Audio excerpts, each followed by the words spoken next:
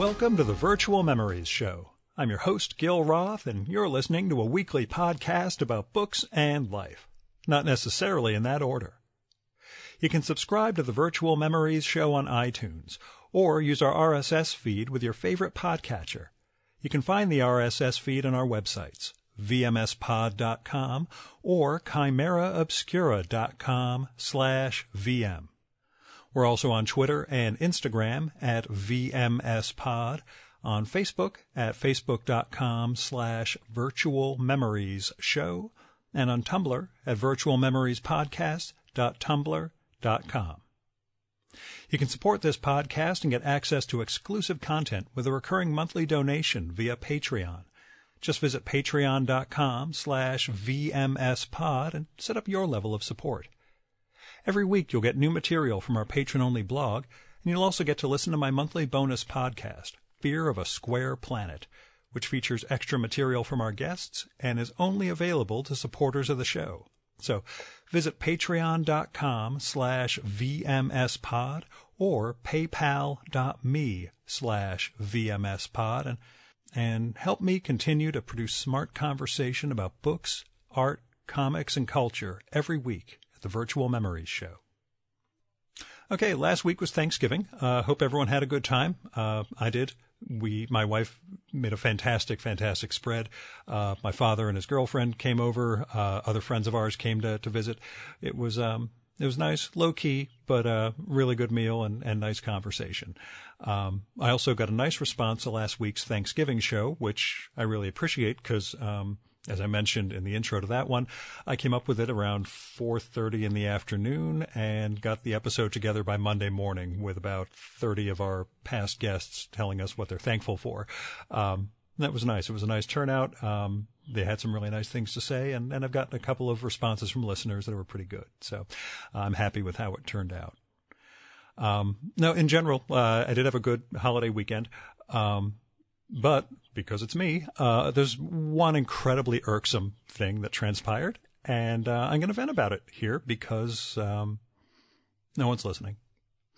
Uh, now, I don't want to go into too much detail, but uh, the short version is that a publisher canceled a podcast with one of their authors on me with about 18 hours notice.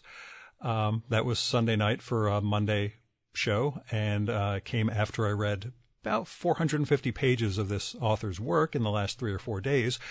Um, I also reached out to a bunch of past guests who work in this guy's field and, and developed some really thoughtful questions. And, uh, well, in other words, I did a bunch of work this holiday weekend and it's for nothing. I, I, it's not to say I didn't enjoy the books. I mean, I read two of this guy's books. They're fantastic. I enjoyed the hell out of them, but I am damned if I'm going to tell you guys about it because the publisher um, Sunday night told me, well, the timing's not going to work out for Monday. Thanks for your interest in the books. So that's the third time in a year that I've lost a previously scheduled podcast with an author from this publisher. Not the same author, um, different ones, but, um, so I spent a little while Sunday night writing a very angry email and, um, and I did not send it because I'm an adult, sort of. Uh, I, I, scrapped it. I saved it, of course, uh, not as a draft email that could accidentally get sent, but as a text page, you know, uh, on my desktop. So there's no way of it inadvertently going out. Um, that said, I did send uh, about a three line email. Um, telling them flat out to remove me from their contact list, stop sending me previews of their books, and I will go find authors who I can actually get on the show. Um, it's kind of bad because I have some history with this this publisher. They've done good stuff for me in the past, but you know, there are two things here. One, this is work. I don't half-ass this show, except for right now. Um, this actually, like I said, takes takes time. You know, I read 450 pages. Like I said, I also did a lot of other reading into reviews of this guy's work, past interviews. I reached out to to other guests to to, to talk about this topic and and two and this is where things get gill turning egotistical and all. I have a full time job with real responsibilities and like large scale real world impact, kind of. And I'm not doing this show because I have nothing else going on. I'm not some guy sitting in an apartment working on his, his novel and, and ranting about, you know, uh, the unfairness of the publishing world or something. I've got a job. I do this podcast out of love. So, um, so I'm kind of peeved. But, you know, on the bright side, as part of my, my raging catharsis, I walked around my, my library down here last night while Amy was watching the last part of the Gilmore Girls uh, uh, reunion show. And um, I wrote down about 40, 45 authors and other artists who I really want to pursue for episodes of this show, uh, just from going over the shelves of my books, uh, uh shelves of my library. And um, and so that I hope will lead to some good stuff for 2017. Now, I, I, do keep spreadsheets of all this stuff and I've got, you know, author lists, but this is, you know, sitting down and or walking around and going over all these shelves and thinking, you know, that's a guy I've got to record with or wow, she would make for a great podcast. I need to go pursue this one. So, um, so that's a good thing that's going to come out of this, I hope, unless they all say no. Um, the other plus side, and this is a weird one, um, there was actually a convergence of my day job and the podcast over this weekend. See, uh, I run a trade association, and recently I was at a trade show uh, pitching a whole lot of different uh, potential member companies to join. These are all guys I've known for years in my old job, and now I'm I'm trying to convince them to, to join in the association. So one guy I reached out to last week after the the trade association meeting or the the, the trade meeting, and um, he wrote me this weekend, just read about you in the Hustle book. Way to go, big shot. I had no idea what he was talking about. I thought the Hustle book might be some sort of like pharmaceutical insider journal I don't know about, um, or they're keeping track of who is running around the trade show the most. I was doing a lot of running around. Um, but it turns out the Hustle book is actually a business book. Hustle, the power to charge your life with money, meaning, and momentum. It's from Rodale. It came out in September 2016, and it's by Neil Patel, Patrick Vlaskovits, and Jonathan, or sorry, Jonas Koffler. Now, the middle guy sounded somewhat familiar, and I remembered, again, it started to come back to me that I corresponded with someone a year or two back about having the podcast as a creative balance to my day job. I think he was connected with a literary agent I interviewed way back in 2012. So I, I do remember that there was some sort of book that was going to use me, and, and the thing was whether they could use my full name and the, the podcast, and I was fine with it. Um, but I'd completely forgotten about it until this pharma guy was reading this this um, this business book and and saw my name show up. Um, he didn't write back with with you know a, a screenshot or anything. So I, I looked the book up uh, Sunday. And I could not uh, also could not find any trace of my conversation with Vlaskovits, Patel, or Koffler. Um, I went through all my email accounts, my social media things, Facebook, Twitter messages, LinkedIn. Can't figure out where we corresponded, but I know I maybe it was just by phone in which case I forgot at the instant uh, I hung up. But um, anyway, I looked the book up. Uh, I found the excerpt with me in it on Google Books, where, of course, copyright means nothing. Uh, so I took a screenshot and transcribed it. And um, and here's what it says. Gil Roth works by day in an unglamorous role as president of a pharmaceutical trade association. It's a respectable position, but Gil lives a double life. He is a great lover of books and reading, and he was craving an outlet for that side of himself. No job description existed for the honeypot he desired, so he saw the unseen opportunity and felt a need to create an experience for other people just like him. Oh, sorry, to create an experience for other people just like him. What did he do? He created a podcast that he called the Virtual Memories Show. He reached out to famous authors and artists, interviewed them, published the interviews, and built momentum to keep going. The writers whom he interviews get the attention they deserve, the listeners get insight into their books, and Gil builds a honeypot, doing something that moves him, and by keeping his head up and eyes open for refreshing ideas and conversation. The podcast is Gil's honeypot, tapping into that which he loves, writers and the work he enjoys reading. Gil's story teaches us valuable lessons about building honeypots. They require small doses of pain. For Gil, this meant nothing more than an investment of time and existing tools. His biggest risk? Rejection. What resources and tools do you have at your disposal now? Use those, not the tools you need tomorrow. Gil sealed the deal to make it real. Anyone can do this. It's the classic, simple to understand, hard to do type of hustle.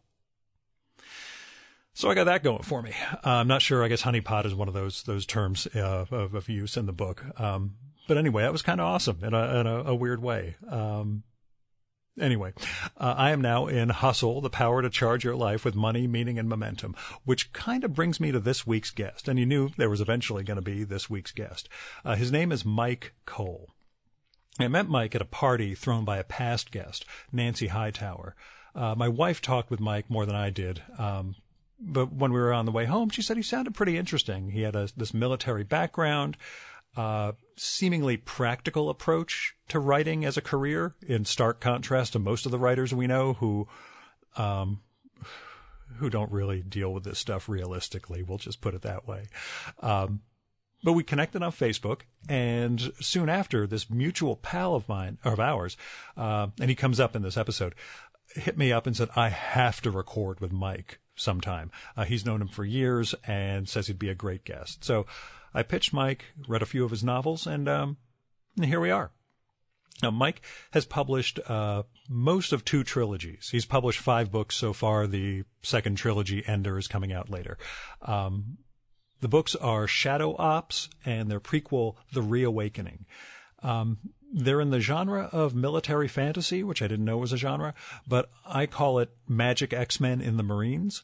And um, basically, contemporary or near future world, uh, people begin manifesting magic powers. Governments try to control things. U.S. ends up with a secret military force of superpowered beings, and there's another plane of existence. Um, I would tell you more than that, but if you're not already into the idea based on that description, I don't think more explication is really going to grab you. Um, these are fun novels. They're they're well written. It's not what I'd pick up off the shelf in a bookstore because I'm a goddamn literary snob. But at the same time, I grew up on the classic Claremont and Byrne run of the X-Men. So this series is actually right up my alley. Like I remember reading a sample of book one, Control Point, and um, I could totally visualize the action, the the, the super powered magical people, basically, uh, the whole shebang, and I was hooked. So, um, you should you should pick it up. If if this sort of description appeals to you, these books will not let you down. Myke does a great job of of conveying superpowered warfare. Um, his world building is is top notch. He describes fight scenes well, but he also really evokes the military milieu that these these characters exist in, um, and that is a big part of what our conversation's about. I read the first two Shadow Ops books on my Kindle, but on the drive home from our conversation last week, I decided, you know what, I'm going to stop at the Barnes & Noble in Paramus and pick up the third one in a mass market paperback. And it's probably the first new mass market paperback I bought in like 25 years. Uh, I, I can't wait to read it, and I would have done so had I not gotten screwed over by that, that publisher I mentioned earlier. Now, as far as caveats go, uh, there's not much. We recorded in my pal Elaine's apartment near NYU. Uh, you'll hear cop sirens every so often. The other caveat I have is I'm sorry I went on so goddamn long. Um, between the irked thing about the publisher and this hustle book, and the hustle book might actually reverberate throughout this episode. Um, I figure you got a short episode last time. You're going to get a lot of rambling from me this time. Mea culpa. And here's Myke's bio from MykeCole.com. As a security contractor, government civilian, and military officer, Myke Cole's career has run the gamut from counterterrorism to cyber warfare to federal law enforcement. He's done three tours in Iraq and was recalled to serve during the Deepwater Horizon oil spill. All that conflict can wear a guy out. Thank goodness for fantasy novels, comic books, late night games of Dungeons and Dragons, and lots of angst fueled writing. And now, the Virtual Memories conversation with Myke Cole.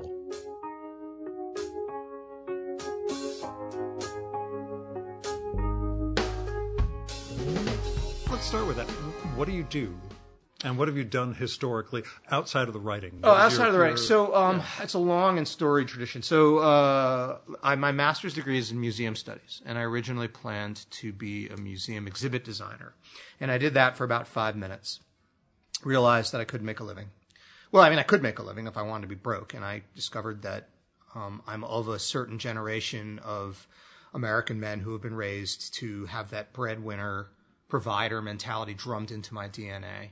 Um, not making a judgment call on whether it's good or not. It's just who I am, and I'm and I'm not making apologies for it. I need to I need to be I need to have what we say in Arabic. I need to have wasta. I need to be a gentleman of property and standing. So um, this was at the time of the tech boom, um, when Clinton called on people to go into tech work.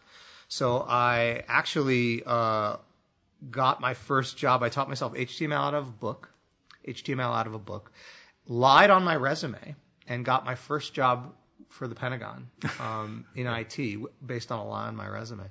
Uh, because and I, there was no one who was going to call you on it. Well, I, I had a friend who uh, it was sort of a half lie. I had a friend who um, had a, a, legal firm, and I asked him if I could say I designed his website, and he said yes. The truth is, I could have designed his website, yeah. uh, but uh, back then it was easy to design a website. But uh, no, it was a lie, and I got a secret clearance and the whole nine. So I went in. I worked there for years. Um, by the time the dust cleared, um, I was the head of electronic messaging at the Department of Education, and then 9/11 hit, and the world went crazy, and we started letting mercenaries do all kinds of things that we shouldn't: um, war fighting, spy work. So, uh, by mercenaries, you mean what we euphemistically called contractors? Private military contractors, okay. yeah. But I mean, mercenaries is the truth. Yeah, um, I'm just saying, uh, contractors was a euphemism. For, yeah, well, yeah, yeah, that's what we call them, contractors. But yeah. um, I like to call a spade a spade, and um, you know, they, these are private armies. They're no different than the Hessians that the British employed uh, during the American Revolution. Um, and uh, I was recruited by one uh, to do IT, and they cleared me. Um, and once I had my clearance and I was at CIA, I was like, oh, oh, all you know, it doesn't matter what you can actually do. What it matters is whether or not you have a clearance. And once I was inside the door, I was like, well, why would I want to do IT when I could be a spy? So I um, took a $27,000 a year pay cut to move from IT into operations. And I went to a private boot camp um, where they taught me all the stuff you learn at a military boot camp and more. Um, and I went to Iraq. And uh, I was a targeting officer one tour. I was a custodial debriefer uh, on another tour, which is, I guess, a fancy way of saying interrogator, just like contractors saying a fancy way of saying mercenary. And um, on my third tour, I was running a fusion cell, um, and uh, it's a it's a it's a way of moving intelligence between units so that units units exist in different areas and can't necessarily share information with each other, and you make sure that nobody misses it. Um, and uh, so I, I don't want to overstate the case. I wasn't you know swinging a gun on the street corner of Fallujah. Um, uh, but I certainly uh, was in it. And after that, um, I actually joined the Coast Guard backwards because I um, I was on a subway wearing my Operation Iraqi Freedom T-shirt, and this guy comes over to me and goes, "Hey, man, thanks for your service." And I was my heart was just exploding from that because I didn't do it for the money. I did it because federal hiring is like any kind of government hiring. It takes two years to get hired, and then you're there for life. Um, so if you want to get in the fight fast, you go through a private company that's why I did it. And uh, he said, well, what unit were you with? And I was like, well, I was a contractor. And he goes, oh. One of them. Right. Yeah. Yeah. And I just felt so deflated. And I felt, and then also when you consider my own family history, like my grandparents were Soviet communists. And um, when did the family come over? Uh, after the Second World War, I was fleeing here. So my my grandparents were Soviet communists that got broken out of, I think Sachsenhausen by the Soviets, so they went to Russia and became communists because that's who saved their lives. Mm-hmm. And then, but Stalin was just as much of an anti-Semite as Hitler, so they fled that to the United States right when Joseph McCarthy and the Red Scare. Perfect timing. So they just, my grandparents never had a chance. Yeah. Um, so uh, I very, I can't even believe I said this, but unironically, when I got commissioned into the Coast Guard, I put my hand on my father's shoulder when he was there, and I said, "Our line of lambs has at last produced a lion." I can't believe I said that unironically, but I think what I meant by that incredibly pompous statement was that, you know, we had always been against the government, and we had always been hard done by government, and I felt that by serving in the military, I was somehow walking that back and kind of giving my family a place in the American patrimony.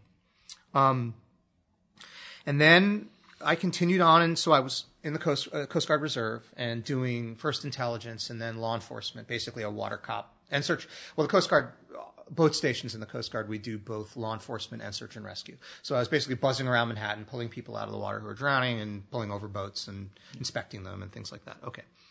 And um, With the number of helicopter crashes we had over the past 10 years in the rivers here. here. never did a helicopter crash. We did a lot of bridge jumpers, unfortunately, but um, was it's just awful. But uh, and of course, a lot of boating while intoxicated is the big thing. Um, uh, so I did that, and then um, I didn't. I sort of soured on intelligence. I, I was promoted up the chain through intelligence, and I finally reached a point where I was at the Office of Naval Intelligence as a program manager. So I was sort of managing technology and budgets, and I didn't actually get to do the spying, which is what's interesting. And I'd also soured on the mission. I mean, intelligence at its root is breaking the laws of other countries and stealing their shit. Um, and I understand that's necessary, but it's not nice and it's not ethical, and um, it burns you after a while. And I think after my experiences in Iraq, I just soured on it. I didn't want to do it anymore. I wanted someone else to do it. And I promised myself that if I got a book deal, I would quit everything. And I was doing well, man. I was being groomed for my what we call SES, Senior Executive Service, uh, which is like the equivalent of uh, a one-star general, but in civilian service in, in uh, the government intelligence community. I owned a very swanky apartment in D.C. You know, I had I was living high on the hog. I made a very good salary, and I promised myself that if I got a book deal, I would give it all up, and I would move to Brooklyn and be a broke writer, and that would be fine. That money wasn't important. And then I got a book deal, and I didn't. learn the horrible truth. Well, I didn't think it was going to happen. yeah. Um, so I, I remember because Peter V. Brett, who, if your listeners don't already know about, uh, that you should absolutely read him. He's an amazing fantasy writer. Uh, I really think he's the second coming of Tolkien. I love his stuff. Uh, full disclosure, he's my best friend. So we're on the phone, and he was like, "Myke, you promised that you would quit your job and move to New York if you got the book deal." And I was like, "Yeah, but man, that's a risk." So I did it, and I was two years a full time writer here in New York, and I I didn't go into debt. Like I did okay, but I learned the hard way that um, my mental health. I can't. I can't take it. I can't go on a date and not be able to pay. I can't have my mother come visit me and not be able to buy her dinner. I can't accept that. I can't live like that. And um, I'm actually very envious of people who have the freedom mentally to handle that kind of lifestyle. But the anxiety was too great for me. So I begged uh, um, to, uh, you know, I, I, I threw out my resume. I begged, and for months, and I got very, very lucky, and uh, was picked up by a, a major metropolitan police department that I'm not allowed to tell you what it is, but where I live, you can guess. And uh, I'm currently doing um, cyber threat intelligence for them. So what I'm int- I'm part of a defensive unit that's only interested in. So if you rob a bank with a computer, I don't care. So that's someone else handles that. If you steal from the police department, or you Try to penetrate. correct, n- then I'm going to come after you. So, and um, it's if you have to have a job, it's the best one on earth. Um, but I'd be lying if I said that if I could, you know, You'd rather be writing full time. you got it. Yeah. But now I know how much money I need to make before I can do that without going insane. Sorry, that's a longer story Oh, than no, uh, that's, like I said, fear of a square planet. right, yeah, yeah. I can edit it down, I guess. But you have published six novels in the past six years? Five novels. The sixth one, Siege Line, uh, I just turned in, um, and I just finished the edits. So I should be getting my delivery and acceptance letter from them, basically saying we're good, we're publishing. Um, I expect it will come out uh, probably in January of 2018. I'm hopeful. Um, I did hand it in a couple months late, so uh, it, it may be delayed a couple of months. Why late? For God's sake, you should have more discipline than this, Cole. Um, Well, I it's funny, funny you should mention because um, yes, I should have more discipline, but I also subscribe to the military axiom that done right is always better than done fast, and you are far, far, far better off missing a deadline and delivering a superior work of art than you are making a deadline and delivering an inferior one. I firmly believe that craft is king, and you can't once you attach your name to shit, there's no taking it back. So I just didn't feel like the novel was there, and I needed more time to get it there. And uh, I, you know, I have Was that something you had gone through previously? To this extent? almost, not quite. Um, you know, it's funny? Uh, you would think that with six novels it would get easier to write. It gets harder. It's harder. I'm more distracted. I'm less disciplined, not more. And I'm and I think it's because I understand more fully what it takes to produce a good book. I'm more stressed. This last book, I could have sworn it was the biggest piece of trash I'd ever written. And it wasn't until my beta readers, my editor, my agent came back to me and, and said, nope, this is the best, that I believed it. Um, Yeah, see, I never get to that point. I, I just assume anything I write's absolute trash and don't bother sharing it. But anyway, well, you know, you're under contract to share it. Yeah, Uh, I guess so. yeah, what um, what work habits do, or what writing habits do you have along those lines? Well, it's funny. Um, I used to have much better ones. Right now, my writing is extremely distracted. Um, I call it Twitter patient. Um, I I'm very involved in social media, and I don't have any statistical evidence to prove that being active on social media has sold books for me. Um, but I will say this: you know, I spend the vast, vast majority of my life in a 300 square foot apartment or a coffee shop where I don't know anybody with headphones on, so I'm not talking to anybody hunched over my laptop. And social media is sort of the one window on the world I have. It's actually kind of pathetic. I, I uh, you know, it's so, I always crack up when people think that, you know, because I'm a writer or I'm speaking at a convention or conference or something that I'm some kind of, you know, rock star. Like I'm the polar opposite of that. And it's my window on the world. It's my way to connect with people. And it's perfectly justifiable because it's work, isn't it? Like it's connecting with fans and, so it's very, very hard and it's very, very distracted. Right now, I'm I'm trying to force myself to do one to two hours a night every night after work, no matter what, um, and putting the phone on the opposite end of the room. I'm not always able to pull it off. I, I, I once interviewed uh, Linn Ullmann, this this wonderful writer in, in Norway, who um, she and her husband would hide each other's phone. They're both writers. They would hide each other's phones, and eventually they got to the point of we just need to cut off the router and turn off the internet for the workday, and that that was their their solution. It's a really good idea. Yeah. It's a really good idea. And it also prevents you from the temptation of saying, well, I'm doing research on Oh, the yeah. internet. So what you do if you're doing research is you put a parenthesis in your manuscript and you say, this research up." this later. Yeah. And then you continue with your writing. I know, I totally think that's great. And Um, then cat videos. Yeah, and cat videos, of course, right. Peter, uh, Pete, the, this best friend of mine, the Peter V. Brett, the, the amazing writer, um, has a, a concept he calls phone jail. So whenever I come over to watch a movie with him and his daughter um, and his uh, girlfriend, he'll he has a wicker box on his table and it's phone jail. You walk in the door and before any other conversation happens, the phones go in the phone jail, the lid goes on, and they don't come out until you leave, so that everyone is engaged with each other even when they're watching the movie. You understand why we're doing this face to face, right? Oh, because we have to. Yeah, I, I don't. People, oh, why don't you do it by Skype or this? No, because the other person's probably going to be goofing around on the internet the whole time. Because I would probably be goofing around on the internet the whole time. No, it's so, a fair yeah, point. It's, It's, a fair you point. know, There's something you know. I often, I often, re- I'm a very tech positive guy. Um, yeah, but the distractive. well, I mean, this, is- this is when people say to me, like, you know, well, social media isn't a substitute for real communication. I'm always like, what, whatever. It is real communication, but It's another mode. the truth is that there's something to be said for face-to-face to communication. I got to admit, I, I appreciate this format. This is pretty cool. It's a line I use from a, a poem by Frank O'Hara, whom I've never read, but I interviewed O'Hara's biographer. Uh, the only truth is face to face. Is and I know nothing of the rest of the poem, but that came up in in Brad's uh, piece about about O'Hara, and I, I lifted it from there.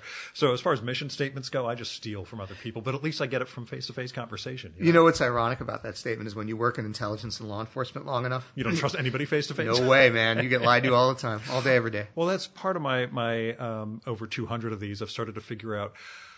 I don't necessarily care what people tell me, but I, I sort of pick up on what they reveal. Not that you should be on guard, but you know, that's just sort of. And you of all people uh, probably know more about the. Yeah, better not say X, Y, and Z. But, I say stupid things all the time. yeah, but it's it's the the little revelations and such that, that come out over the course of you know an hour of, of waterboard. I mean conversation. That's, uh, but what brought you into to publishing? What led you into to writing? Oh, Besides being a giant nerd. I, I, I think it was being a giant nerd. Well, I never think mind, it was. we're done. I think it was. Uh, well, I mean, it was really a combination of two things. I think that um, on the one hand, I was a, a nerd in the classical mold, D and D, um, uh, you know, war games, comic books, uh, uh, fantasy novels, all of the things that anyone listening to your podcast grew up with. But at the same time, um, I did, I did have a guest, by the way, who I hit with the final question of heroes or villains and vigilantes. I was enough of a nerd to do the superhero RPGs, Right. Not just D and D, but yeah, I he- played Villains and Vigilantes. I yeah, remember that was very well. big- He was a heroes guy because it was you know more realistic. No, I remember Villains and Vigilantes really well. Big I- Jeff Dee freak. So that, Wow, that was, wow, yeah. that's awesome. so anyway, Oh, that's great. Talk about taking me back. yeah. Um, I, um, uh, but I grew up. Look, I mean, not to throw stones at my parents, but like, um, you know, it wasn't the best growing up environment, and I was scared all the time. I think it's really important when you're little to feel like you have a rock under you. Um, and I know this because I see my brother do such a great job raising my niece, and I never had that. So when you're scared, I had two problems. One, I was scared all the time, and two, I didn't have any men modeling how to be men um, to me, and so I just kind of had to guess. And so I looked around at four examples of male figures that were not scared of things, and of course, that's all violence when you're a kid. So you know, I looked at, you know, so Wolverine and Superman and whatever, um, and the Lords of the Rings characters. Um, and my mom didn't approve of fantasy because that was not legitimate. But history is legitimate. So she saw me, um, with the cover of the D&D basic book manual, which is, um, the Dave Trampier cover. It's a red dragon on a pile of gold. And there's a knight in like 15th century, like Helmschmidt plate armor, aiming a longbow, like guys like that would have used longbows, but whatever, um, at this dragon. And my mom knew what a knight was, and that's legit because that's history. So she took me to the Met, and that was it. I was off and running, um, and I never got away from it. But what what happened as a result of that is that I had these twin threads. One is the traditional nerd thread, but one was this constant thread of violence and armed conflict and and traditional um, war making male values. So it's kind of not surprising to me at all. In a way, it's inevitable that I wrote the books I did. Um, is that I found a way to nerdize that world of violence that I've embraced from my youngest years and made my professional life in. Um, I it's funny. People ask me like when you wrote the Shadow Ops books. For those of your listeners who don't know, my books are kind of like Harry Potter joins the Navy SEAls. Um, So I go with with X Men Marines. X Men Marines, I sure. just describing it to a, a former guest or past guest who was a retired Marine uh, major.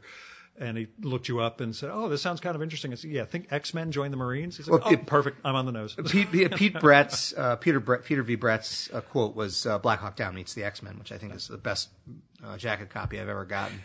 but um, people say, "Well, you know, are you surprised that that's what you came up with?" And I was like, "No, I think it's kind of inevitable that that's what I would come up with."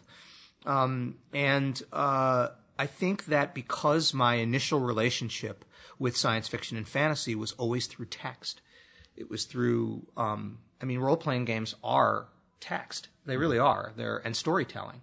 Um, you're talking about villains and vigilantes and D and D and Gamma World and Boot Hill and Top Secret and all of the games that I grew up playing, and even the comic books I read. I mean, my my youth was consumed with imagining, and add to that the fact that my mother always taught me she was wrong, uh, but she always taught me that Coles are bad at math and science and good and good at English. yeah. And when you're a kid, you believe what your parents tell you. So it sort of became the only thing that I devoted energy to. And, um, you know, when you're good at something, it feels good to do it. So, uh, it sort of became inevitable and became sort of the only thing I, I wanted from my youngest days. I wanted to be a writer since I was six. What's astonishing is, unlike me, you weren't paralyzed by anxiety and and going into a completely different career that kept you away from it. Uh, I am paralyzed by anxiety. yeah, and but I you did don't let it quite totally paralyze you. Well, no, that's not true at all. It paralyzes really? me all the time. And I did go into a different career. I, I, I went into very safe careers to make money. Um, you know, look, I started in IT not because I have any love of IT. Um, and the only reason I think I wound up in, in the spy world is because I found a way to do that and make money.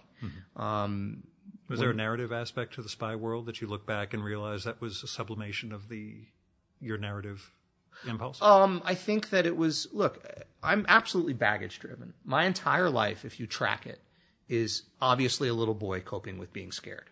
Um, every single decision I've made along my whole life is obviously me trying desperately to feel safe, um, and that guided my going into the military. It guided my obsession, and you know, uh, look, I am right on the line of being when you work in law enforcement, any kind of arms carrying discipline. There are always these people we call holster kissers. Like they're like hangers on, people who are obsessed with guns and violence and but they never actually you know serve, Yeah, right? yeah. Right. So uh, you know these people are like and they're, and they're irritating. Um Is it just lack of commitment, or they would Well, not be suitable to serve if they tried? who knows? Okay. Who knows? Wasn't sure Either that- they're not something you guys all serious, or there's, or they're they're not serious, or they have medical problems that keep them out, or they can't, you know, they have colorful backgrounds, or they they don't think they, they they let anxiety stop them. Who knows? Um, but the truth is that I was kissing that thread in my life, my whole life, um, and I can't tell you what force, you know, made me go all the way and make it into a real thing. Um, uh, but if you if you look at my life from like a I don't know a psychoanalytical perspective, it's all baggage. It's all demons driving me. But I did a blog post on this. I acknowledge that it's all demons driving me, and I kind of like where they've driven me too. Um, you know, like I really like my life, um, and going to Iraq was horrible. I mean, it's a horrible experience, and there's a lot of horrible experiences even stateside. You know, doing intelligence work. Um, but I wouldn't take it back. And um, I'm incredibly grateful for where it's put me. And uh, I don't always think it's funny. I wrote an essay on PTSD for um, Oh, yeah, yeah, an, an anthology uh, called Beyond the Wall. That uh, James Lowder edited, and I talked about um, Arya Stark and Theon Greyjoy as examples of um, what we call condition black and condition yellow. Um, and condition black is a condition where it's based off the Cooper's color system, which is a, a system developed for tactical pistol shooting, but I use it to describe states of vigilance and awareness um, as they relate to PTSD. Condition black is being frozen, and condition yellow is being alert. And condition yellow can be exhausting. It sucks to live in condition yellow all the time, as many PTSD sufferers do. But it also enfranchises you and makes you very, very capable to handle situations as you evolve because you're constantly aware. And in a way, I feel like my fear baggage that drove me into this career is kind of like that. Um, yeah, it's exhausting, uh, but like I said, I, I wouldn't take it back. I really like where it's driven me in a lot of ways. What do your parents think? So I come from Jewish, uh, New York, Ashkenaz Jewish, you know.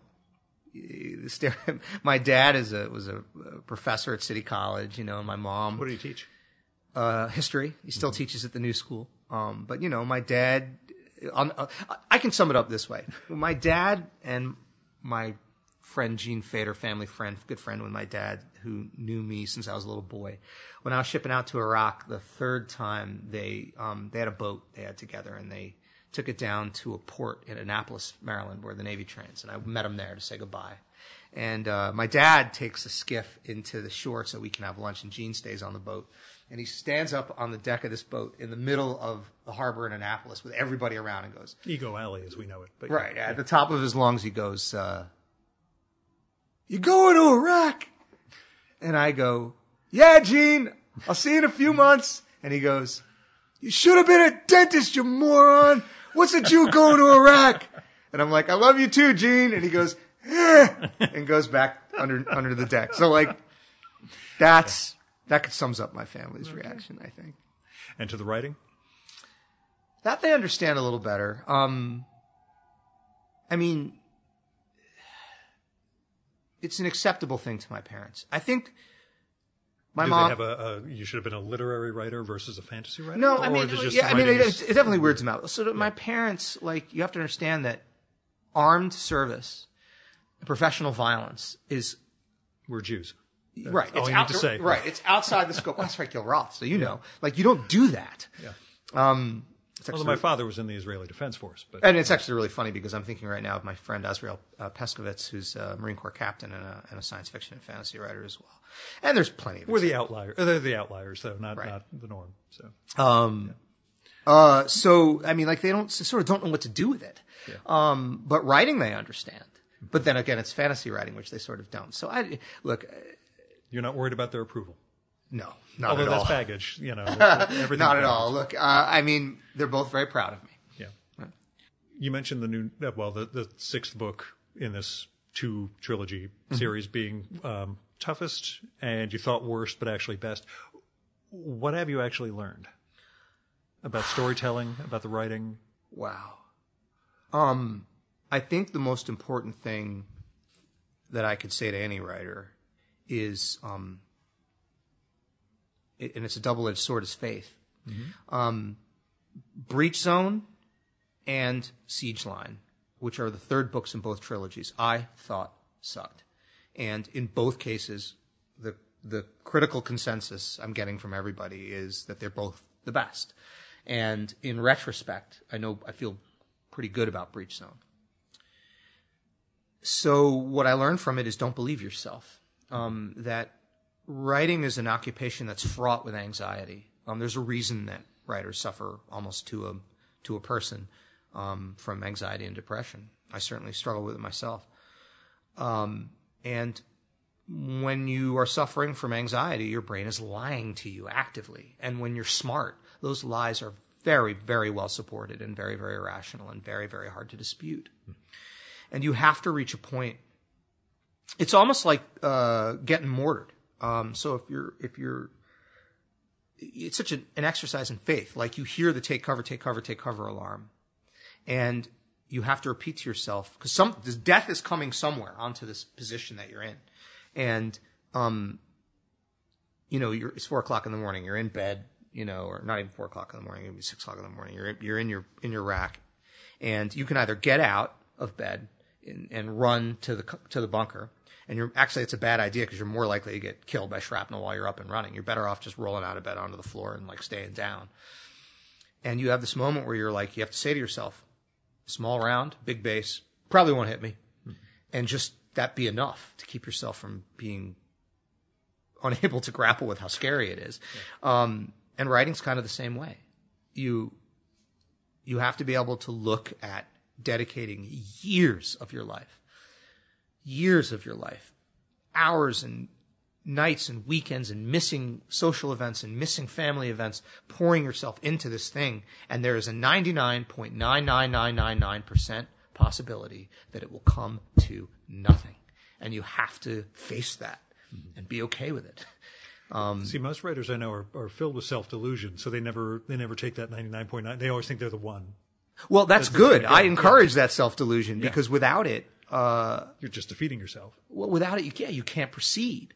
Um, so I think there's something to that blind, silly faith. Um, you know, Steven Pressfield says, write stupid.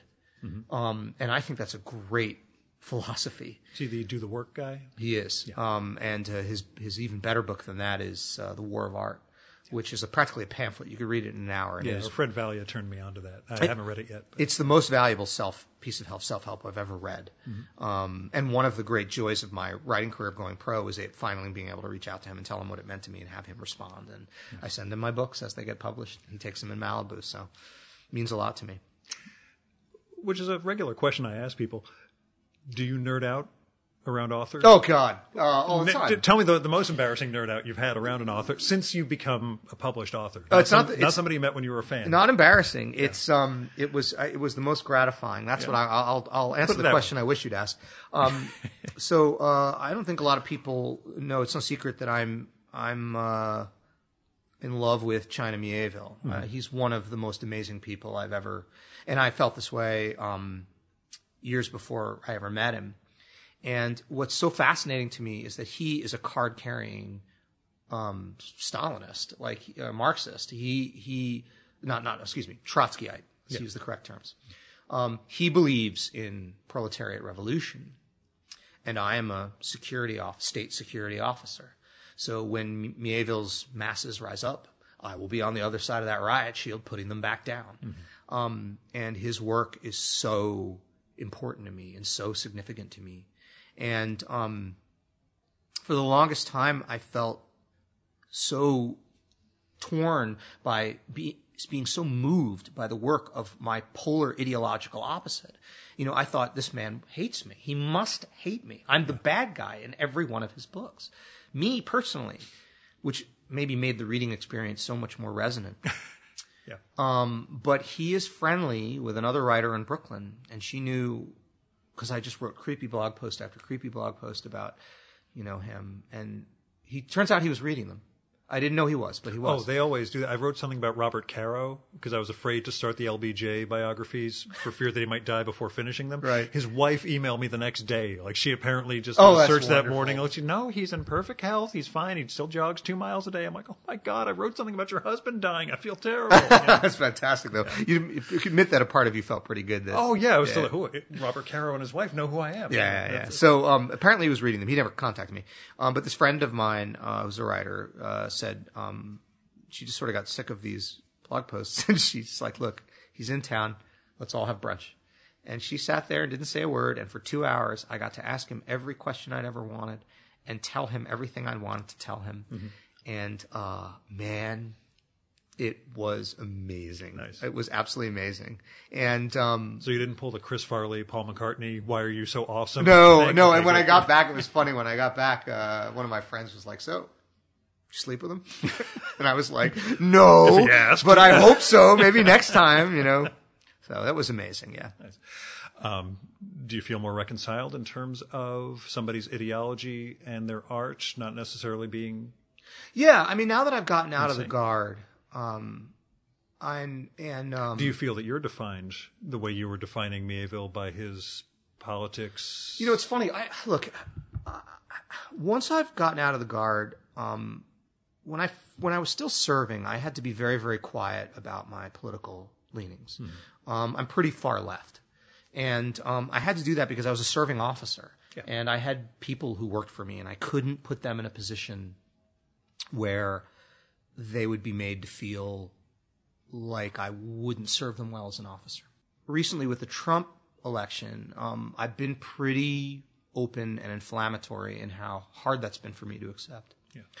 You're the first person I've recorded with since the election. Oh, the last one I did was October 31st, and yeah, I don't think I could have done one at least for the first week plus. it's been it's been hard to accept. It's been hard to accept, and um, I'm quieting down about it now because the truth is that I I feel like a I'm not going to change anybody's mind, and b um, I've gotten the focus off my writing and the focus onto who I am in my politics.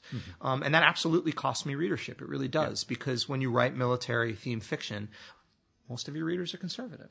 And when they find out that they don't really like where you stand on a lot of issues, um, you pay for that. Part of me feels like good that I make a principle stand. You know, virtual signaling is the term that the right uses, people on the right use to to to te- to um, try to denigrate someone standing up for what they believe in. They say, "Oh, you're virtue signaling," and I, I know what that is. Um, it means that I'm I'm doing it right. I'm I'm I'm Yeah. sticking to the cards of my convictions. So I feel good that I've I'm taking a principled stand, but I feel bad in the respect that when the when that interferes with someone's ability to to just experience my work for the work, and um, so I'm trying to chill um, and and you know I've made my principled stands. I, I've gotten to get things off my chest and uh, and let that be enough. And now it's back to you know Would you have served a commander in chief, Trump? I oh, no, I would have resigned my commission absolutely. Um, and I'm very glad that I did before this. Um, I was very very proud to serve under Obama. Um, but and it's funny because I actually got out um, because uh, we were still committing troops to Syria. You have to remember that I operated against Al Qaeda. Um, look, ISIS is just an, an evolution of Al Qaeda um, under a different name. And then and we're sending troops to Syria to work with rebels against the Assad, Assad regime, who are Al Qaeda. They're jihadis. They're the same people I fought against in Iraq. And, that those was- who were funneling Yeah. troops over the border into Iraq. And that's why I, I got out because I was like, uh, because I realized I'd reached a point where they, if they were like, well, if, what, what if they look? If you're a reservist, you have to be ready when that trumpet sounds. You go, and it doesn't matter why. You go where they tell you, and you you know I you can't be conflicted about that. And so once we were, and this was under Obama, once we were getting deeper into Syria, I was like, no, no way, no way, I'm going to work with the guys I fought against, no way. You moved from military fiction into straight, or military fantasy into straight fantasy. Moving well into dark fantasy. Um, dark fantasy, So it's funny. Uh, my We'll get back to ISIS later. But my favorite sort of sub sub sub genre is this, and I'm using air quotes here, the grim dark movement. And by that I mean Scott Lynch, Joe Abercrombie, Mark Lawrence, George R. Martin, to some extent Peter V. Brett. I, I would argue that Robin Hobb's Assassin's trilogy is actually um, grimdark. A lot of people disagree with me on that, but I, I think it's absolutely legit. That kind of bleak, really, really um, ugly, uh, but ultimately redemptive fantasy is really what what thrills me. And so I wanted to write that. And that's the trilogy I've sold to Tor.com. The Fracture Girl's the first one that will be out. I actually don't, don't even know when it will be out. I don't have a publishing date yet. And um, the sequel, The Queen of Crows, I'm about 50% of the way through. And it's, it's great. And I, I like to challenge myself. So I really feel that the, the soul of writing is character.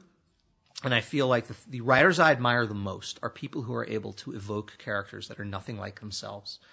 George R. R. Martin's the best example. Yeah. Um, Tyrion Lannister, Jaime Lannister, Cersei Lannister. These people are nothing like George R. R. Martin, if you know him at all. Um, and yet he makes you believe. Um, so, and you'll see this in my own work.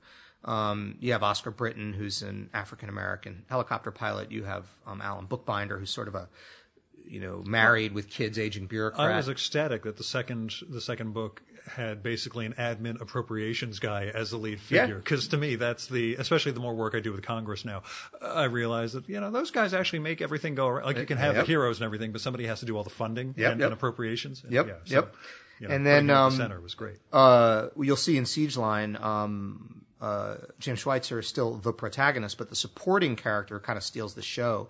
Is the sheriff, uh, Native American, uh, or excuse me, Native Canadian uh, sheriff of this town in the Northwest Territory, this hard-bitten Afghanistan veteran. And writing her was amazing because I, I, I both um, was writing from the point of view of a woman and also from an Athabascan Chipewyan, a Dene uh, woman. Uh, which is a culture I'm not particularly familiar with. Yeah. So to get that voice right was really, really tough. Um, and I love the fact that I extended myself in that. And then with Heloise, who is the um, main character in the Empty Throne trilogy, which is the one I'm doing for Tor.com, is a um, you know a 16 year old girl growing up in uh, a sort of really dark ages culture, um, living under an oppressive regime, and getting her voice right. Uh, was an incredible challenge, and one of the reasons that that book took me about two years to get done. Um, and what I, what's also interesting now as I try to expand my range, since we're on the subject of range, I don't have a contract yet, so I don't want to officially announce it, but I have a deal memo and we're just negotiating the particulars for my first nonfiction military history book, which, um, I hope to be able to announce any day as soon as we nail out the particulars. And what's so fascinating about that is in that I'm writing in a narrative history voice. I'm being very careful to avoid an academic voice, but it's very different from a, a fiction voice. I still have to unreel a story because my goal is to write narrative history the way that David McCullough does, or the way that um, uh, Roger, uh, uh, rather Bernard Cornwell um, in his Waterloo does. You know, sort of real scholarly history that is true to the, the sources and um, provides real scholarly analysis, but does so in a voice that maintains narrative tension and gives the sort of experience that people have come to expect from fiction. So, look, I don't know if I'll be successful. I've only ever sold and published one type of book in my life, which is the military uh, fantasy. But I'm very, very gratified to be getting publishers to pay me to write in so many disparate voices. It's so important to me, man, to be able to look in the mirror and say, you are not a one trick pony. You are a writer with a capital W. You have the craft to do whatever you want. That's really important to me. And, um, and there's so many uh, writers, like Isaac Asimov did a book on, um, of Byzantine history. Did you know that? Well, he did 400 of them, so I figured you know you must have covered a lot of topics. Right. And like, and I'm looking at that, and like, you look at Jim Butcher. You've like, heard the Trump thing, by the way, right? what? The Mule from the Foundation trilogy. You remember Foundation? Yeah. Remember how everything in history was kind of plotted out and everything made sense and, and you know things are going to follow this Right, arc. And then this weird X factor shows up because he can read other people's minds and screw with them and all. That. Trump, the mule. That's, amazing. yeah. I think Dave Weigel brought it up on Twitter once. I'm like, oh my god! For all the the, the foundation nerds out there, you managed to, to encapsulate what was going on in the election. Mm-hmm. cool. Yeah. So- Well, but anyway, Byzantine history. Well, I, I just, I, I, I, we look at Jim Butcher. He did the Dresden Files, and the Dresden Files is such a specific type of story. And then he was like, "Eh, I'll do Codex Alera." Woof, all the way other, way on the other end of the map. Brandon Sanderson, you have Elantris, and then you have Mistborn. They're just disparate. And um, Yeah, what other genres do you want to try out? And do you think of writing for comics, given your comics? Oh God, history? funny you should mention. Um, I have a script. Uh, I've written a comic script, uh, and it's about um, 17th century Cossacks um, uh, on the Polish-Ukraine border.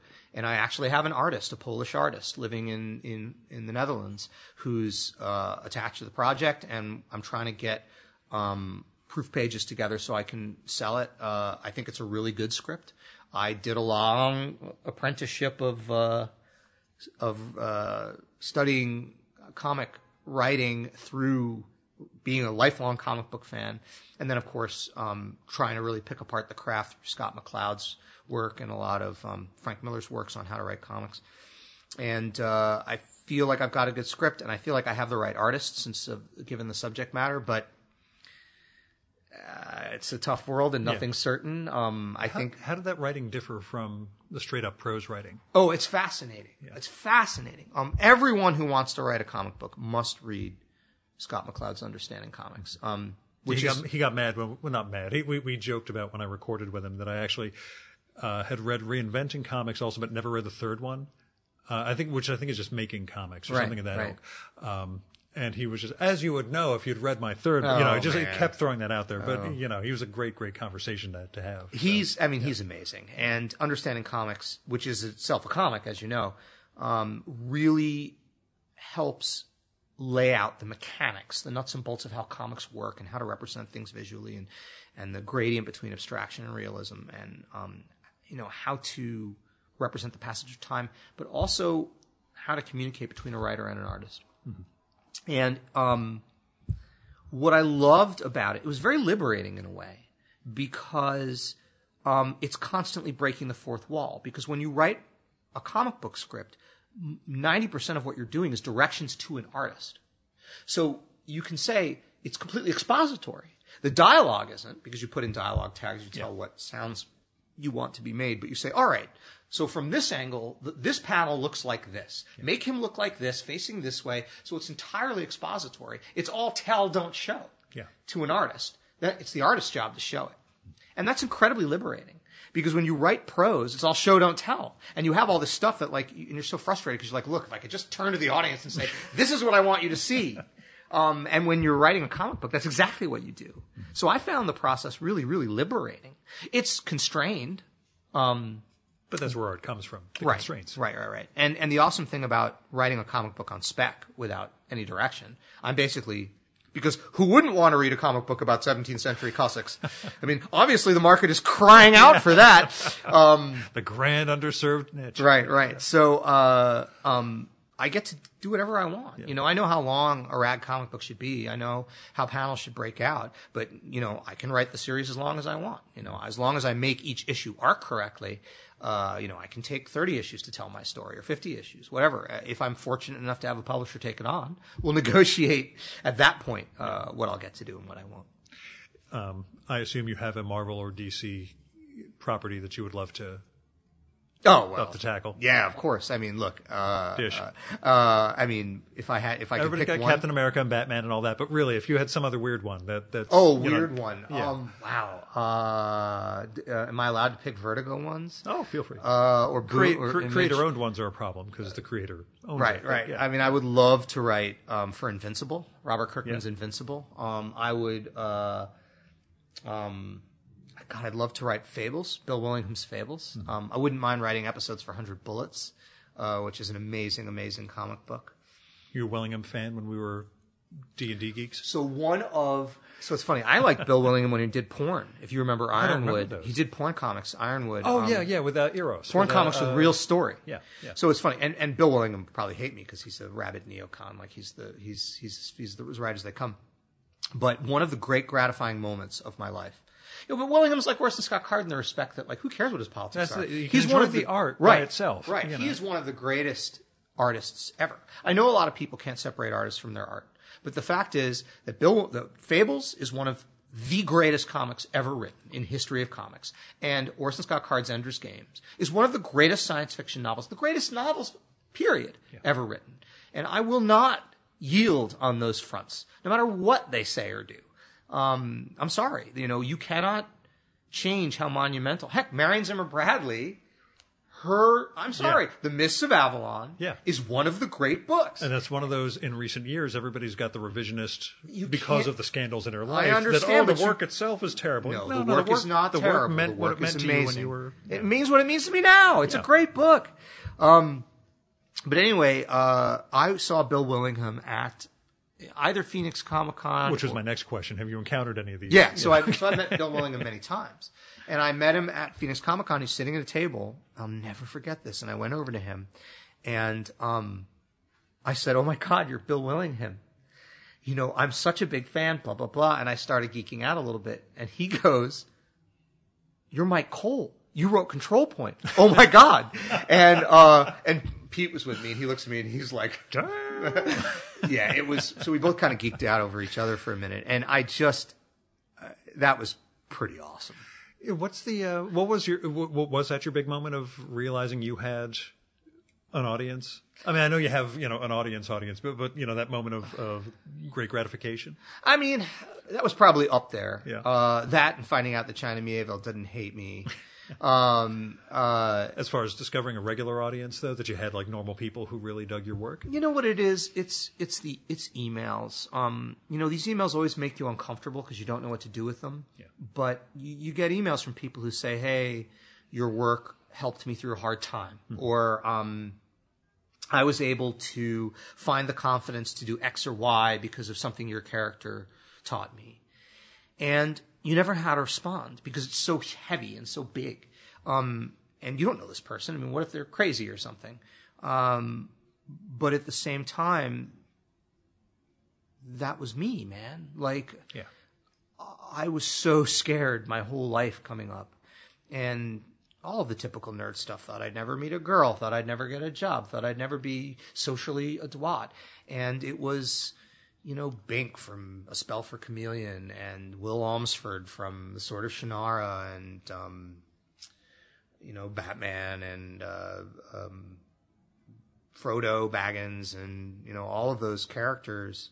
Um, Wanderer from the Book of Three and the Black Cauldron that kind of made me feel like I could do things and you know I had when I had no friends they were my friends um, and the thought that something I write could provide that for someone else is pretty sublime um, when it comes it, it comes rarely and I don't think I can ever adequately convey my gratitude to these people when I write them back and I always do write them back um, but if I do nothing else with my career, I did that.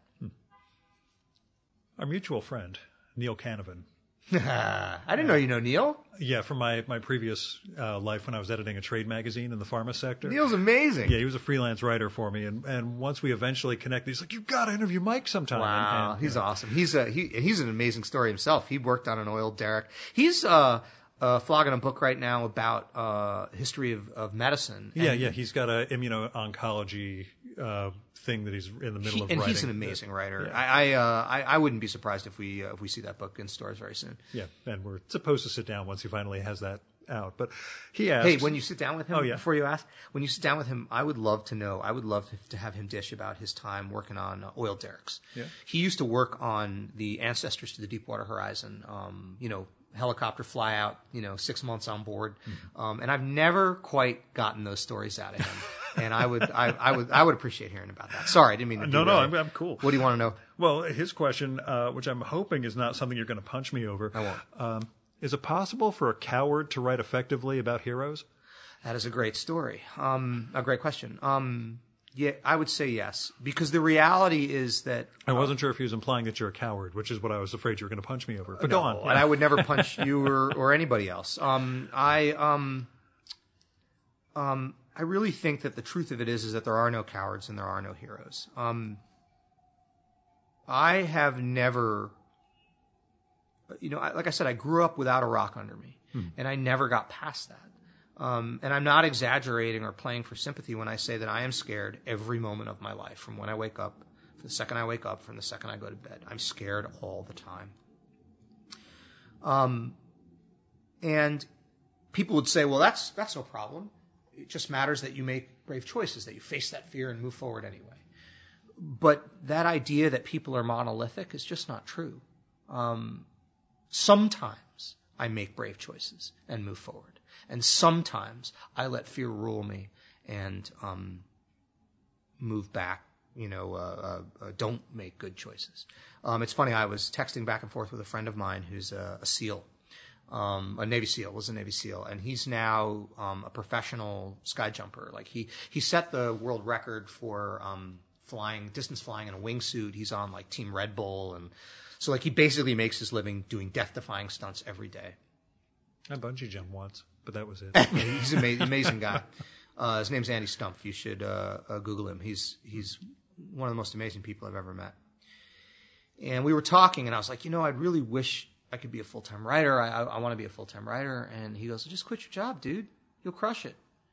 And I was like, I can't do that, man. Like, you know, I, I, I tried that, and you know, I'm, you know, and the reality of what it, what it, when I drilled down into it was that like I'm just scared to take that risk. Mm-hmm. And here's a guy, and look, Andy's a really smart guy, an excellent writer. People should read his blog, his Confessions of an Idiot. Um, I'm trying to get him to change the title. Uh, That's he's pretty not, good. He's not an idiot. Yeah, he's not it- confessing it- anything. But it's pretty. Oh, okay. Well, there you go. That's Um, a problem. He um he is like he- when you'll see when you read his writing, he's not stupid enough to say that he doesn't feel fear. Andy feels fear all the time. Mm-hmm. Um, he just has found a way to routinize his coping mechanisms so that he faces it every time and makes the forge ahead call every time. And it is the thing I think above all others that I admire about him. Um, I'm not there yet. I try. I try so hard, and there, and I've taken some breathtaking risks. All three trips to Iraq for me were volunteer. I raised my hand each time. Going to Deepwater Horizon, I begged them to activate me up to my armpits in oil. You know, who knows what weird friggin' diseases I got from that. I mean, there's Louisiana in general. So, you know, my my in-laws are down there. So, you know. Um, uh, yeah, I didn't love it. Um, and then uh, um, quit, I quit an incredibly high-paying job for life, uh, and came up here and was a broke writer. I'm very lucky that I didn't wind up having to be poor for the rest of my life, and that I was able to get a job. So I'm certainly no stranger to taking risks, but to do it consistently the way he does, um, I, I'm not there yet. I'm really not there yet. when you describe the the sensation of being afraid every moment, it sounds like it predates your Iraq. It does. World. It does. Iraq um, exacerbated it beyond belief. That's what I wonder how the PTSD, which you've written about, Yeah. um, how it looks from the inside versus who you were before then. So here's the thing about, and this is look, I'm not a medical professional, so please, you know, don't take my word on it. All I can tell you is what I think, and this is what I said in the essay, and that essay was incredibly popular. I, if my books were as popular as that essay, I'd, I'd uh, be New York Times bestseller. Um, You'll be sitting with some schlub from New Jersey and a couple of microphones, but that's mind. okay. I don't That's- mind. Uh, you've certainly interviewed uh, uh, far more famous people than me on this show. Um, so here's the thing: is that people talk about PTSD like it's a snap event. Something happens, and something inside you breaks, and then from then after, you are ill. You have an illness, hmm. and this illness manifests itself with flashbacks or numbness or, or whatever it is. And I'm not saying that that is not a valid interpretation, but it's never the PTSD I experienced, and it's never the PTSD anybody I talked to experienced. For us, it was more like this thing where one day you wake up and you realize that this slow, gradual change has been happening to you over years. And for me, it was less about numbness and um, uh, No, flashback. flashbacks. And, and, no, you know, for me, it was about trauma. boredom and about a change in goals, an inability to find significance in the kinds of things I had before. I, f- I felt like the drama of being in intelligence and being in war and knowing that the decisions I made took people's lives, saved people's lives, changed people's lives. Um, and then having to come back and sit in an air conditioned office. That's that's a subject that's come up. We had um, one of my, my past guests. She's a, a literature teacher at West Point, and they were sending off cadets around 2000 in the early 2000s who were going over there commanding and coming out at like 28, 29 years old. Right. And, and okay, you're back in America now. Go find a, a Right. meaning to your life. I'll never And, forget. Yep. said invariably they, they end up just getting a motorcycle and zooming 200 miles an hour across the horizon and doing something other than you know a job because they just can't cope with the lack of stimulus. Well, I don't know. Again, I, I'm you know. No, I, and I totally get it. Yeah. Um, yeah, it was the boredom. Um, and I'll never forget. I, I got back and um, I didn't have any clothes because all I had was this like five eleven tactical gear and, and crap that I was wearing while I was over there, and half of it was full of camel spider eggs anyway. So I just got rid of it because you know, look, I don't want to be that douchebag who wears the five eleven tactical pants to the mall. Like, there's too many guys like that. That's that's like holster kisser, holster kisser central. I don't want to be that dude. So I got rid of all that. Um, and I didn't have any clothes. So I went to Universal Gear, which is this like um, very hip, you know, store in DuPont Circle, which is the gay neighborhood in, in DC. And this like fabulous attendant who was there, and I walk in there and, you know, he was kind of like, can I help you? Like, what are you doing here? And I'm like, look, man, I just got back from Iraq.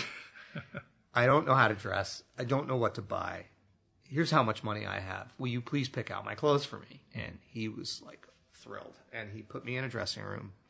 And it was a couple of things. It was like the first kindness anybody had shown me in a long time. Um, it's kind of rough over there. And, um, and he obsessed over matching colors and the fit and how things hung on me. And I kept thinking like, what are you talking about?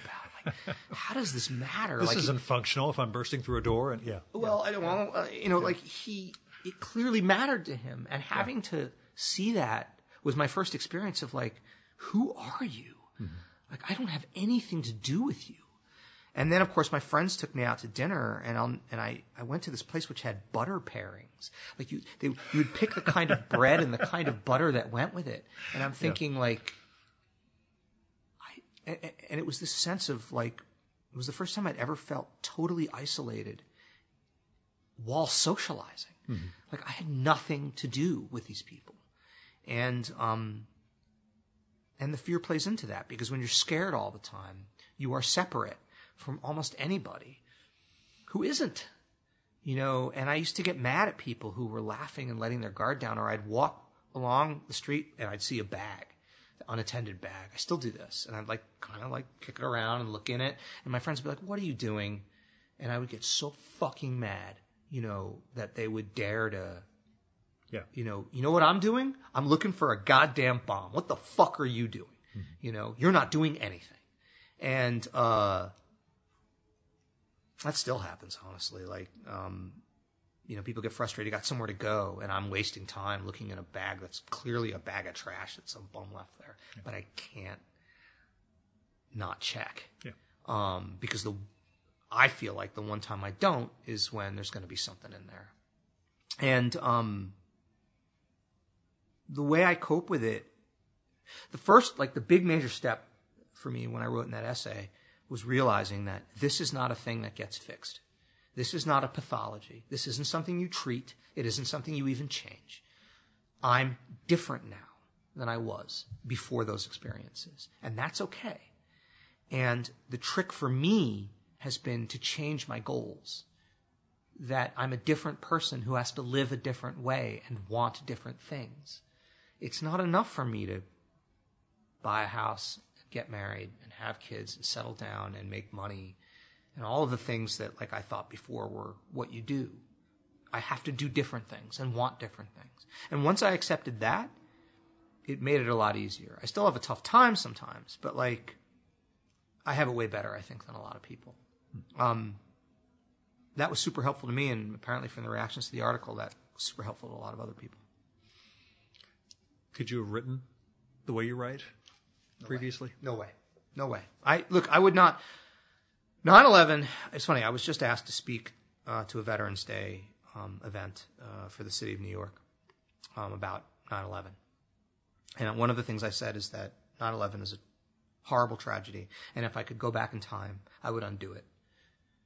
And at the same time, I'm incredibly grateful that it happened because it set off a chain of events that changed me in ways I am incredibly grateful before. I love myself so much more than I did before I had the chance to go fight. And it's busted me up in a lot of ways and knocked me around in a lot of ways, and I'm paid for it in a lot of ways.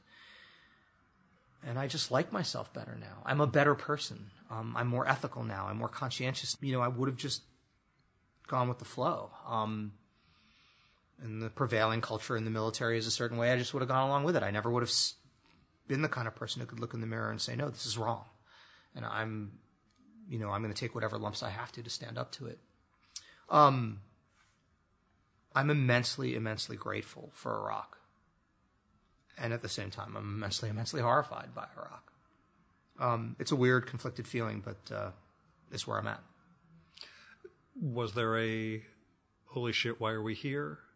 During your time there, or was it afterwards when you got back to the States? So there were two things. One was a gradual thing, because I went over there to fight Al Qaeda, and the va- who, as you know, are Sunni extremists, and the vast majority of the fire I took was from Jaish al-Mahdi, which are the followers of Muqtada al-Sadr. They're not Al Qaeda; they're the polar opposite of Al Qaeda. They're Shia. Al Qaeda, think of them as you know kafar, and um, but for those of your listeners that don't speak Arabic, kafar means uh, an unbeliever, an infidel. Um, so I began to understand the complication of the. Uh, I forgot where we were. Oh, uh, your life being torn asunder and coming out better and stronger. You know, Yeah, Six million dollar manish. Well, yeah, I guess right. That's. I'm yeah, it's- I guess it sound. Look, it sounds dramatic. Um, there are definitely times when I when I take stock of my own um, uh, life. You know, it's funny when I, you know, I'm I'm amazed sometimes myself with like where I come from and what I did. Um, but I think that. you know, What is it? Woody Allen has said that 99% of life is showing up yeah. like you know you just kind of flail ahead and and I had career by attrition. That's been my, uh, my my way of doing it until my last couple of years, where I actually went out and did something. Usually, people just quit or died ahead of me under suspicious circumstances, but still, yeah i mean for me like i i mean i look i went into it because i wanted to make money i got the clearance because they needed people in it and then once i had the clearance i was like well heck you know i'm not married i don't have kids i could take a pay cut i'll move into ops and so it really was a a fumbling Snowden. Snowden is complicated. So for me, Snowden is a tragedy. Um, and in a tragedy, everybody loses. And I, um, I include Manning in this. So Edward Snowden did mishandle and reveal classified information. And that is absolutely unconscionable um, and unacceptable. And in so doing, he revealed real wrongdoing on the part of the government, which is noble and wonderful. And um, I wouldn't walk that back either. And because of him, we have a cleaner, more honest NSA. Um, but he did, so A, the government looks worse. He set back our intelligence community's programs by many years and many millions of dollars, and people may have been killed. Um, he tarnished the government's reputation, and he ruined his own life, mind you.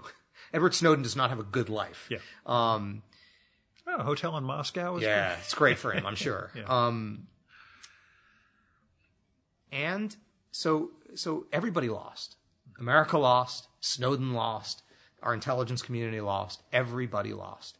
So I just sort of feel a deep and profound sense of sadness. A deep and profound sense of sadness that the conditions existed for a Snowden, that um, there was such systemic wrongdoing that a Snowden had something to talk about, and also that our security itself. that our CI, that our counterintelligence apparatus, allowed a Snowden to occur.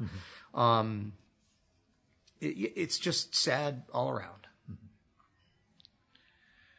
Your keys to crisis preparedness? That's the last one I'll ask you. But you know, you, you did once mention in a post basically having you know a few hours to, to get down to Louisiana. Yeah, yeah, that was my. Um, so the, the the it's wonderful. They teach you this when you're a reservist. Um, when you're a reservist, it's all about planning. When you're a reservist, you have to be ready to deploy. You have 24 hours from the time the, the, the trumpet sounds, and missed movement is big trouble. You don't want to do that. So what you do is you have your sea bag packed by your door, ready to go at all times, and you have a plan for how who's going to take care of your cat, who's going to who has power of attorney over your if you get hurt, who's going to pay your electric bill, what's your landlord going to think, blah blah blah. So the key to crisis preparedness is to have a plan, and that plan should cover every minutia of your life. So at any given moment, aliens could descend from the sky and lift me into the firmament, and um, my my the business of my life, my literary estate, my apartment, my friends and family, all of that would run on smoothly and without incident as if I had never left because the plan is in place. And you've managed to uh, keep that vibe.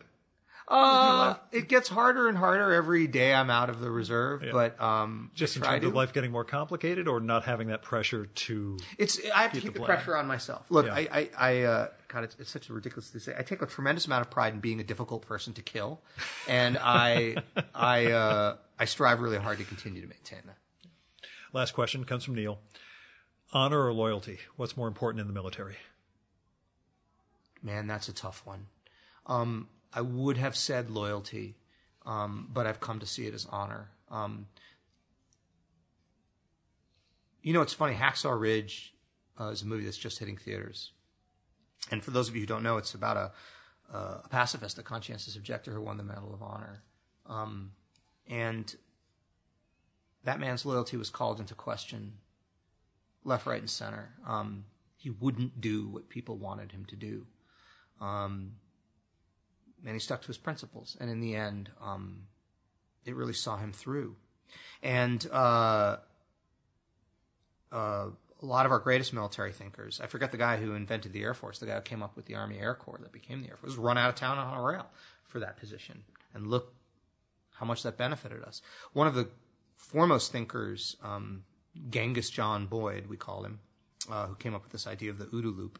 I won't bother describing it, but it's one of the great innovations in thinking about counterterrorism. Was reviled for his um, positions, um, and I really do think that if your principles are in the right place, um, there's the famous speech that Captain America gives to Spider-Man. You know, you stand by the river of truth, and when everyone is telling you to move, you plant your feet like the roots of a tree, and you say, "No, you move." And um, that to me is the soul of honor. Myke Cole, thanks so much for coming on the Virtual Memory Show. Thanks for having me.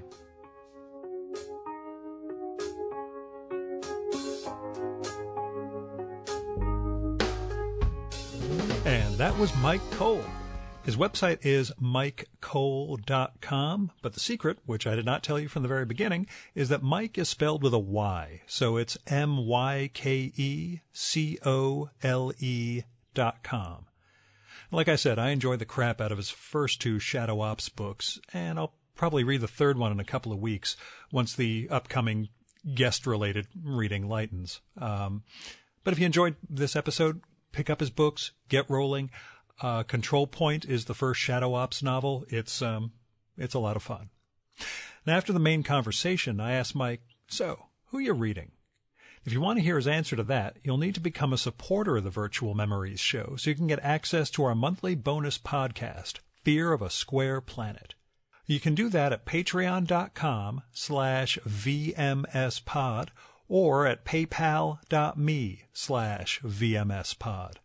I've got all sorts of goals and goodies in place for supporters of the show, including that podcast, a patron-only blog. I'm getting ready to put together a series of ebooks that I'm going to start rolling out next year, and those are only going to be available to our supporters and more. So go to patreon.com slash vmspod and support the art of fine conversation.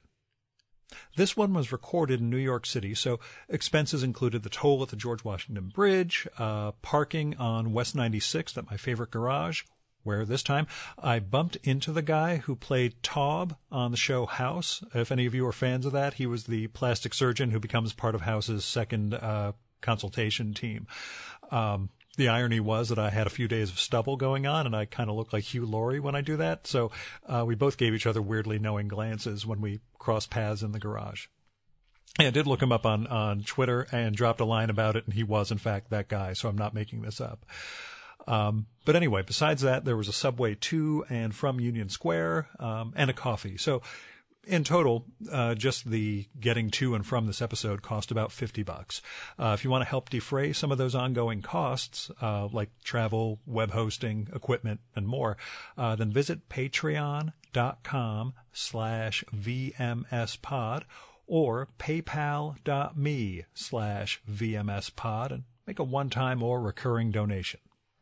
A special thanks go out to Paul W. Jones, Michael Janazik, Fred Kish, Jonathan Kranz, Andrew Mason, Greg Tanner, Zach Martin, Craig P. Steffen, and Ron Slate for going over and above in their support of the Virtual Memories Show. We've got the full list of show supporters at chimeraobscura.com slash VM. Our music for this episode is Nothing's Gonna Bring Me Down by David Baerwald, used with permission from the artist. David's got a reunion project going with his great 80s band, David and David. You can find out more and support that at facebook.com slash David and David Music. And that's it for this week's Virtual Memory Show.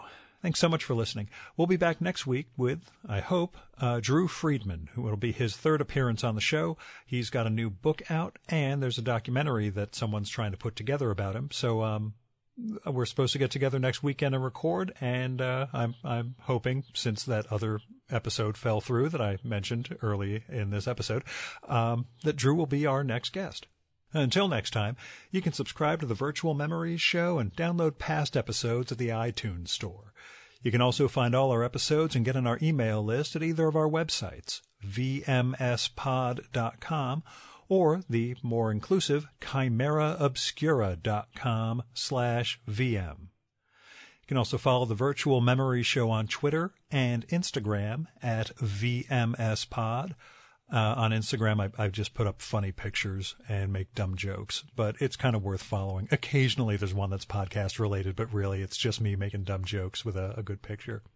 Uh, we're also on Facebook at facebook.com slash virtual memories show and at virtualmemoriespodcast.tumblr.com. And if you like this show, please go to iTunes, look up the Virtual Memories Show, and leave a rating and review for this podcast. That'll help us build a bigger audience. Until next time, you've been listening to the Virtual Memories Show. I'm your host, Gil Roth, and you are awesome. Keep it that way.